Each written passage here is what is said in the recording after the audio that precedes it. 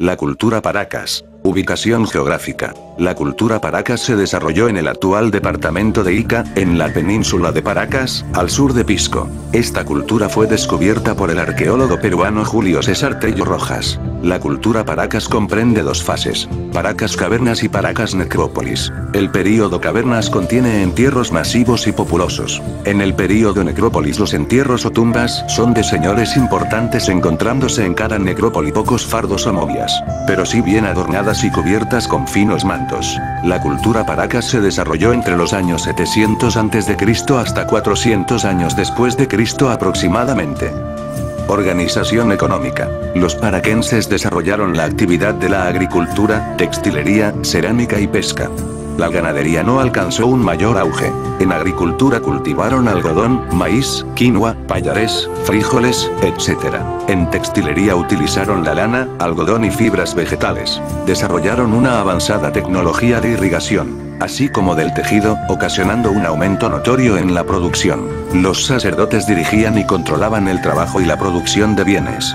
Los militares, utilizando las guerras, defendieron la propiedad privada y la sobreexplotación de los trabajadores agrícolas y artesanales principalmente. La mano de obra la conformaron especialmente los campesinos, pescadores y artesanos, tejedores, ceramistas. Las relaciones sociales de producción fueron desigualitarias, porque los trabajadores agrícolas, artesanales y marinos tenían que entregar una parte considerable de su producción a los sacerdotes. Los trabajadores no eran dueños de nada. Todo pertenecía a los señores sacerdotes, los que se adueñaron colectivamente de los medios de producción donde estaba incluida la fuerza de trabajo.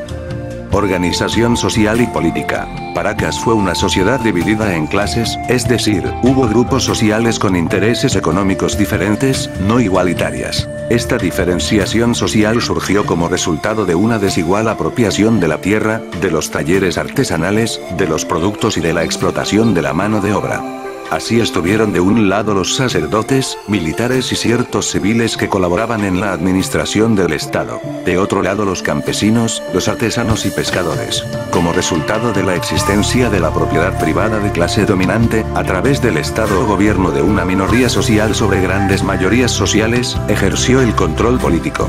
Ese Estado fue teocrático y militarista, porque el poder era divino. Manifestaciones culturales. Textilería. Fueron grandes tejedores y conocedores de la industria textil.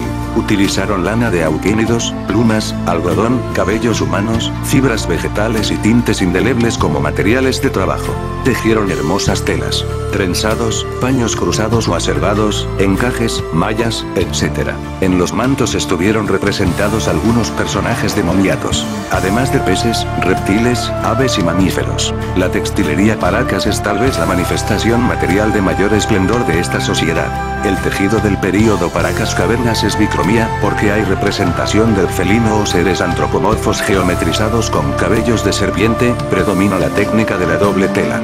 Mientras que en Paracas Necrópolis es policromía y representa personajes sosteniendo báculos o cabezas trofeo con fajas que atan a su cintura y se transforman en serpientes, con tocados rematados en un cuchillo ceremonial, nariguera, bigotera, etc. Cerámica. Existieron dos tipos de cerámica. Una cerámica grande, vasijas, con dibujos sencillos sobre fondo de color naranja y marrón oscuro. Otra cerámica chica, tazones, jarrones, pintada después de cosido los huecos con colores vivos como rojo, negro, amarillo y verde separados por incisiones.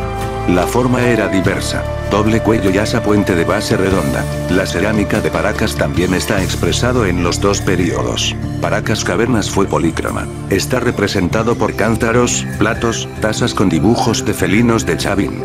Paracas Necrópolis fue monocroma, caracterizado por su doble pico y gollete puente. Ciencias. Tuvieron conocimiento de la geografía, astronomía y medicina. Dentro del campo de la medicina conocieron la trepanación craneana y la momificación de cadáveres para conservarlos. La trepanación craneana se practicó haciendo incisiones en el cerebro con instrumentos de metal u obsidiana. Cortaban en forma cuadrangular una parte del cerebro y lo reemplazaban por una lámina o trozo de mate. La momificación se efectuó extrayendo masa encefálica, vísceras y algunos músculos de los muertos.